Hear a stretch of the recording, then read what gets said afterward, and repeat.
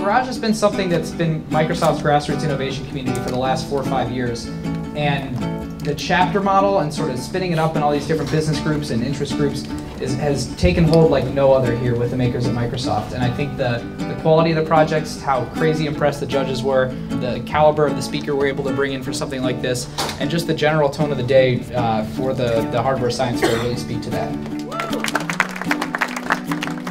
My name is Gershon Parent, and this is my sixth degree of freedom 3D printed robotic arm. It's been suggested that this type of arm is really just an elaborate backhoe, which is probably true. A lot of people say that robotics is really just a solution waiting for a problem, and I think they're right.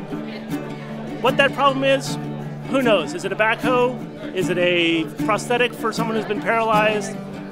Maybe, maybe not. But the only way we're going to find out is if we keep building these things, making them better, and finding out what they can and can't do. I'm Carrie Hamill. I'm with Microsoft Research, and I'm showing the PumpSpark Fountain Development Kit today. We've got a lovely water piano that we prototyped over the last two days using the kit. Uh, it lets you play a MIDI keyboard and uh, play an actual water-actuated piano.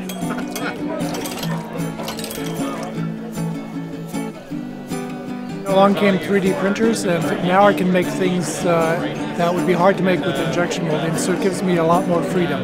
And I can go in a lot more directions at the same time, which I like to do. Hi, I'm uh, James McCaffrey. I work in MS Research. Uh, my project is Rainman and Zoltar. It uh, provides uh, poker advice in real time through the crystal ball.